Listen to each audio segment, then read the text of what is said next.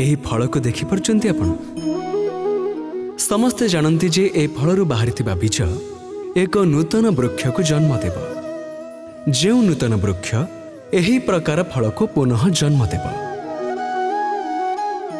ପରନ୍ତୁ କ'ଣ କେବେ ଆପଣ ଏହା ଭାବିଛନ୍ତି? ଯେ ଫଳ ଏବଂ ବୀଜର ସମ୍ବନ୍ଧ ଏତେ ଗଭୀର। ପରନ୍ତୁ ବୃକ୍ଷର ମୂଳ ଏବଂ ବୃକ୍ଷର ଶାଖା ମଧ୍ୟରେ ଏତେ ଦୂରତ୍ୱ କ'ଣ ପାଇଁ?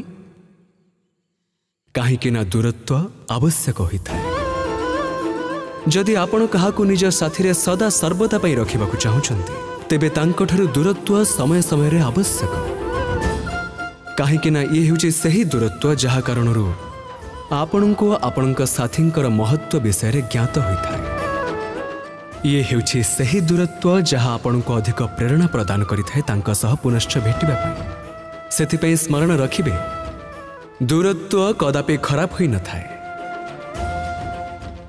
ଫଳ ଆଉ ବୀଜ ମଧ୍ୟରେ ଏହି ଦୂରତ୍ୱ ହିଁ ନୂତନ ଫଳର ସୃଷ୍ଟିର କାରଣ ହୋଇଥାଏ। ପ୍ରେମର ବାସ୍ତବିକ ପରୀକ୍ଷା ଏହି ଦୂରତ୍ୱ ଦ୍ୱାରା ହିଁ ହୋଇଥାଏ। ତେବେ ଦୂରତ୍ୱକୁ ମଧ୍ୟ ପ୍ରେମ କରନ୍ତୁ। ଆଉ ପ୍ରେମରେ କୁହନ୍ତୁ ରାଧେ ରାଧେ ରାଧା